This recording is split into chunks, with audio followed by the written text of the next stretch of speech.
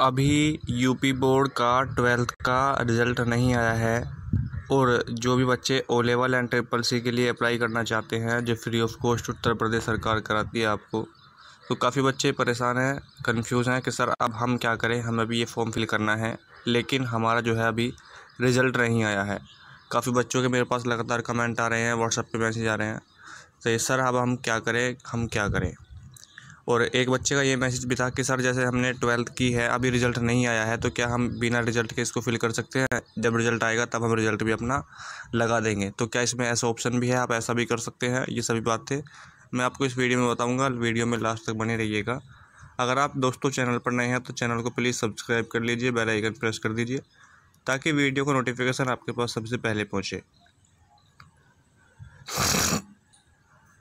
इसके लिए दोस्तों ऑनलाइन अप्लाई करने की जो लास्ट डेट है, वो आपकी सोलह जून रखी गई है। ऑनलाइन अप्लाई करने की लास्ट डेट है, जो सोलह जून है। उसके बाद आपको सबमिट करना है अपने विकास भवन में, अपने ज़िले के विकास भवन में भी इसको जमा कराना है। तो अभी रिज़ल्ट आया नहीं है ट्वेल्थ का, अब बच्चे कन्फ्यूज़ हैं कि अब करें तो करें क्या। तो देखिए, मैं आपको बता दूँ दोस्तों, जब तक आपका रिज़ल्ट नहीं आएगा यूपी बोर्ड वालों का बोल रहा हूँ, क्योंकि यूपी में ही ये योजना फ्री होती है। तो जब तक आपका रिज़ल्ट नहीं आता है, आपका रिज़ल्ट लगभग पंद्रह सोलह तक आ जाएगा। आज चौदह जून है तो दो तीन दिन अभी, दो तीन दिन में आपका रिज़ल्ट आ जाएगा, डिक्लेयर हो जाएगा। तो जब तक आपका रिज़ल्ट नहीं आता है, ये डेट अभी आगे और बढ़ेगी। लगभग बीस जून या पच्चीस जून तक इस डेट को बढ़ाया जाएगा। अगर आपका रिज़ल्ट नहीं आया है तो कोई बात नहीं, जब रिज़ल्ट आपका आ जाएगा, आप फॉर्म फिल कर सकते हैं। ये डेट अभी और बढ़ने वाली है, ठीक है?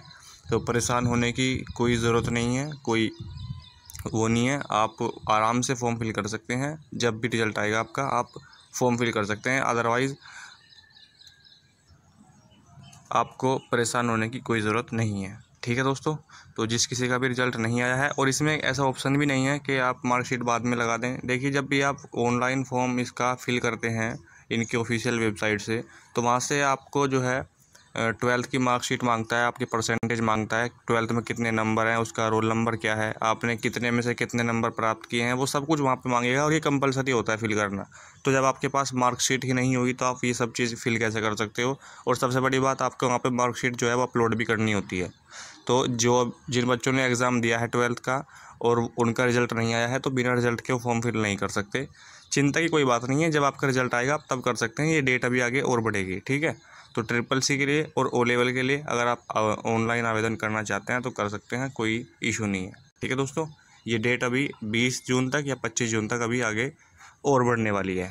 ठीक है? इस वीडियो में बस आपको मैं यही डाउट दूर करने में आया था आपका। अगर आपको और कोई दिक्कत है, परेशानी है तो आप कमेंट बॉक्स में कमेंट करके पूछ सकते हैं। उसका रिप्लाई उसका जवाब आपको वहाँ पर मिल जाएगा। ठीक है दोस्तों? मिलते हैं नेक्स्ट वीडियो में। तब तक के लिए जय हिंद, जय भारत।